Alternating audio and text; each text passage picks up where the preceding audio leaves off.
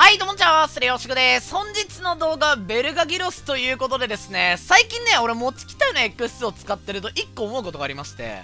あれ、X ミラこれあんま面白くねえなと。そう、あの、X2 のミラってね、なんか結構虚無じゃないあれ。なんかお互いに弾めっちゃ避けれるから、その、結構何も起きない時間が多いんですよ。で、たまに弾引っかかったと思ったらそっから服脱がされちゃうんですよね、ゲロビとかで。っていう感じで、まあ基本虚無たまに脱がすみたいな意味わかんない読み合いが始まるから、結構ね、やってて、なんかめんどくせえな、X みたいな。X 使っておきながら X めんどくせえなってのが、X2 使ってるやつの意見なんですよ。身勝手ですね。っていう感じで、まあなんかもっと簡単に X 破壊できるかやらいねえのか、このゲームと。まあ、といった感じで最近探しておりまして、まあ、それが見つかんないから環境来たるゆえんなんですけど、まあ、その中ででもですね、まあ、やっぱ一番有名どころでビダールってやっぱ X2 に結構含有りついてるから、まあ、ビダール乗ればいいじゃんねってなるんですけど、俺、あの、ビダールね、ぴょん角設置消えてから使えなくなっちゃったんですよ。やっぱそういう人間なんで。だからなんかもっと簡単に破壊できるけどいいねドラえもんって思った時にドラえもんの4次元ポケットが出てきたのがザミーネでした。そう、ベルガギロスね、こいつ結構いけるんすよ、X。まあ、っていうのも、あの、まあ、ビダルがきつい理由の1個でもあるんですけど、あの、マシンガン機ね、X 結構めんどくさくて、まあ、ショットランサー簡単に消されちゃうから、あれ耐久1なんで。まあだからやっぱなんかこう、ビダールとかああいうメイン強い系のマシンガン強い系はね、強、あの結構強く出れるんですけど、ベルガはね、中でも、まあメインアシストメインみたいな感じで結構継続的にずっとこの強いメインばらまけるから、ショットランサーのね、その、期待値かなり下げることできるんですよ。相手側の強い武装の期待値を。っていうところで非常に有利取れてるんですけど、プラスまあやっぱね、マント全部貫通なんで、このキャラの武装。で、さらにね、このキャラのショットランサー、あの、X セットの差し合いになった時ね、結構有利なんですよ。まあ、ていうのもあの、これさ、性能同じように見えるじゃん。俺も同じだと思ってたの。若干ね、ベルガの方がね、強いってか、あの、発生早いのよ、これ。あの、ちょっとこれ、これ2試合目で詳しく触れるんですけど、どっちも使ってるからわかるんだけど、そのベルガのソットランサーはブーキャンできないんですよね。まあ、ちょ、ちょ、ちょ、続くわ。続きます。そうこれねベルガギロスの撮影してて初めて気づいたんですけどまあ X2 のショットランサーって結構ブーキャンでフェイントかけれるんですよ俺よくやるんですけどあのなんか構えだけ見せてうんショットランサー撃つぞ撃つぞ撃たないみたいなまあそれクソ気持ち悪いことやるんですけどベルガでねそれやろうとしたら間に合わないのよねブーストてかその発生が早すぎてだから、あ、XL もベルガの方がショットランサー発生早いんだってのに気づきました。これね、覚えておくとね、どうだろうね。なんか人生どっかで役に立つ、や役に立つかもしれない。わかんないけど。さあ、といったんで、じゃあ、そうそう試合の方見ていきましょう。これね、絶対今のとこメイン打ったら助かってたね。今のは単純に俺が打ってなかったのが悪い。さあ、といったんで、拘束されて大変腹立たしいんですが、ここは相方に助けてもらってと。でね、やっぱまあ、あのー、まあ、いろいろごちゃごちゃ言ってたけど、まあ、わかりやすく言うと、本当にあの、X 相手は、相手のショットランサーを一方的に消しつつ、こっちのね、あの、もっと発生早いショットランサーを押し付けに行けたりとか、まあ、あとやっぱね、マント、あの、マント全部貫通できるから、そこら辺でね、ゴリゴリダメージ取れたりとかがあるんで、いやー、これはね、割と真面目にちょっと有利な気がします。どうなんだろう。まあ、ただ、2オン2展開になった時はさすがに、あの、ゲロビとかね、レバトクシャとか持ってる X2 の方が強いけど、さあといったんでとりあえずここは X2 の方詰めていく感じですかね。さあ相手が覚醒吐いてこれはちょっときつそうかと思ったらしっかり縦でかわしていくと。サイクスに詰められて、あの、レバ特殊はね、さすがにちょっときついですね。まあまあまあ、ただこっちのね、武装全部こうやってマント貫通するんで、もうシェルフノーズル全部関係ねえっすわって感じでしっかり落としていくと。さあ、そのまま X の方に詰めていく流れですが、さあ、レバ特殊吐かせていって、まあまあ、ここはしょうがないね。まあ、1号と2号やしね、ここは寛容に行きましょう。さあ、とりあえず1回落とされちゃったんですけど、まあ、こっち201号ということで、あとまあ、やっぱ2号ではコスパで勝ちやすいんですよ。あのー、2号って、まあ、別に X に限らずなんですけど、1号対面ってあんましたくないんですよね。2000とかだったら割とコスパ勝負も負けないんで、1号相手に。まだいいんだけど、2号はね、やっぱ命が重いから、特にこういう火力ぶっ飛んでる1号に突っ込んでこられると、3000の隣してるね、2号はたまったもんじゃないんですよね。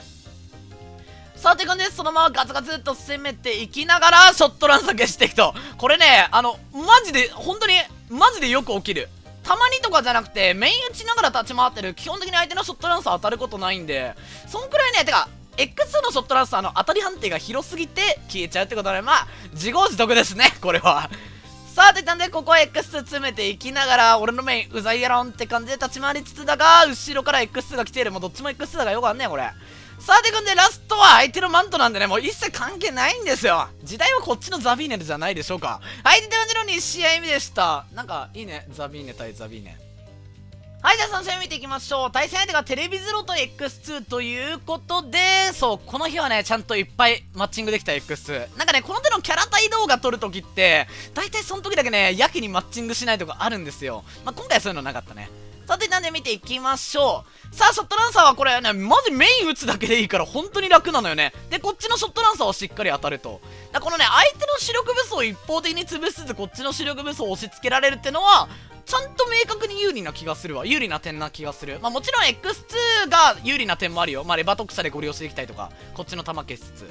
さあといった感じでここは1回ゼロに、えー、ここグイグイ来られちゃった俺が見たいのは X なんじゃザビーネ同士で見つめ合いたいって感じでここはもうザビーネ突っ込んでいきましょう。さあ見てください。この一方的に相手のショットランサー潰す感じ。マジで気持ちいいからこれ。あとね言い忘れたけどあのサブの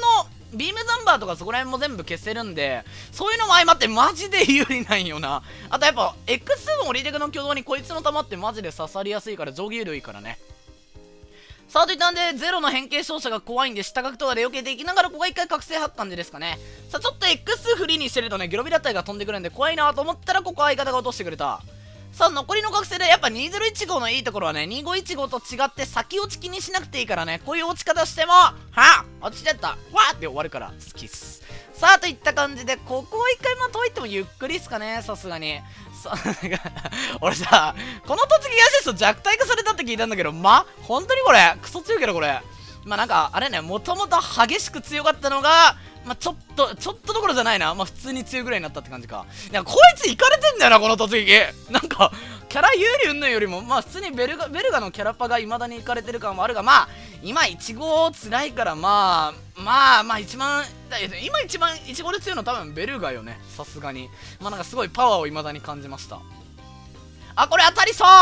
当たった そう、今のもさ、ちょっとスロー再生すると分かりやすいんですけど、拡大かなんかすると。あのね、相手のブーストの初動食っちゃってるんですよ。これね、ショットランサー当たり判定広すぎるんだよね。まあ、ベ、ベルガにしても X にしても。で、まあ、X の異常な点はそれをチャージでずっと打てちゃうっていうところなんですよね。なんでこの見た目でこんな当たり判定広いんでしょうね。真面目にやってきたからよ。さあ、といった感じでここは一回テレビゼロに寄られちゃうんで逃げていき、うわー縦が出ない。ロリバー縦出るようになったんですけど、変形照射ってなんかね、体がブルっちゃうんですよね。さあ、といった感じでゼロを狙っていきたい。怖いな、怖いな、怖すぎるだろ、あれ。さあ、という感じで、しかもね、しっかりリスクケアされてて、頭当たんねえなって思ってたら、ストは相方が決めきって試合終了と。はい、じゃあ本日ラスト見ていきましょう。対戦相手がスカイと X2 ということで、まあ、X2 はいけんだけど、あの、スカイが激しくきついんで、まあ、ここは頑張りたいですね。さあ、と思ったら開幕バタラにぶち当たってしまった？バタラは壊せねえんだよな、結構。あ、今は壊せたか。さあ、といったんで、ここは X2 ブースより取れたんで、しっかり取っていきたい。まあ、やっぱこういうあれっすね。マシンガン機はそもそも、まあ、てか、このマシンガンから着地取れる武装を打てるっていうのは X2 にない強みっすね。さあ、だが、なんか、体力がとんでもないことになって、開幕ゲルビもらったの痛すぎますね、これ。さあ、といったんで、ここは取ってきた。おー全部消してくれた なんだっけデナンゾンだっけこれ。ちょっと忘れちゃったけど。優秀すぎるな、こいつら。さあ、X このまま詰めていく流れですが、どうやって取っていこうかな。とりあえず一回覚醒入って、まあ、これは無難に取れそうっすかね。さあ、しっかりアシストで取っていきながら、てかこのメインから布石つなげられるのがマジ X サイて楽なんだよな。これメインからなんも出ないとこだったら別だったけど。さあ、ここはしっかり取っていきたい。メイン、俺のメイン、うざすぎるやろって感じでしっかり、まあ、チクチクやっぱ、マシンガンこうやってチクチクできるから結構ダメージです。なんだかんだ、あの、勝ってる。気づいたら勝ってるっていう場面も多いですね。さあ、一度落ちてしまったが、まあ、コスパ的に、あの、25の X あんだけ減らせるのは全然問題ないでしょう。さあ、ただね、そう、このね、ベルガギロスで対 X2 なんですけど、X2 はね、こうやって結構楽に減らせんの、本当に。あのね、スカイが削れないのよ。そう。あの、スカイに有利ついてるキャラってなると、何が出てくんだろうななんか、基本的にスカイに有利つくキャラがあんまりいないイメージあるんで、まあだからまあ X23 落ち狙うのが一番いいのかな。結構この試合露骨に X23 落ち狙ってますね。さあ、ここは覚醒を割っていきつつ、N サブで動かしていって取りたかったがブーストがで、うわ強いんですよ、これ。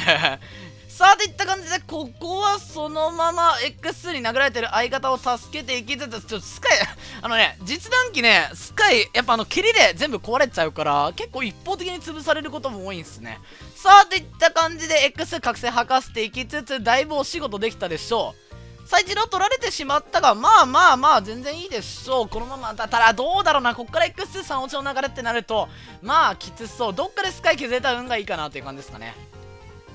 さあメインで削っていきてて、スカイがきついもう本当にスカイがきついどうやって削るんだよと思ったら、あー、間に合わなかった。きつい、きつい。ショットランサーも強い。やばいよ、やばいよ。てかこれ、気づいた？隣がサンドロックなのがよくないこれ。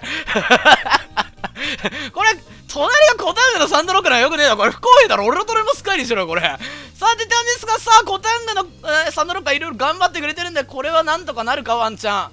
さあ、スカイが覚醒割っていって、絶望的な流れ、どうにか X をあいつさえ殺せればあいつさえ殺せば俺たちはもういいんだっていう感じで追っていくんですけど、いや、取れそうで取れないちょっと取れる食べるライ無理っすね。あのね、違う。これ、スカイが無理なんですよ。本当に。ベルガギロスで対策しようとすると。まあだから、隣にサンドロック置くんじゃなくて、まあちょっとスカイに有利がついてそのキャラ置くのが一番いいんじゃないかなと思います。はい、で、でんでん行、きましょう。はい、ご視聴ありがとうございました。いかがでした？でしょうか？ベルガギロスくん。ベルガ君普通にね、まあ、今作まだ全然キャラパワーあるのと、X2 に結構強く出れるってのは、割と今の環境アドバンテージな気がするんですが、スカイがきついんだな。う